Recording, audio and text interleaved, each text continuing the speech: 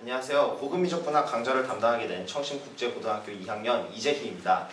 이 강좌에서는 수열, 극한, 미분, 적분 등의 개념을 어, 기본 미적분학 수준에서 배우는 것 이상으로 좀 더 정확하고 엄밀하게 공부를 하게 됩니다. 일부 내용은 고등학교나 대학교 1학년 수준의 미적분을 넘어설 수도 있지만 논리적으로 사고하는 연습을 하고 싶은 분들이라면 누구나 따라올 수 있도록 준비를 했으니 즐겁게 어, 수학의 재미를 느끼고 싶으신 분은 어, 어, 즐겁게 따라와 주시면 감사하겠습니다.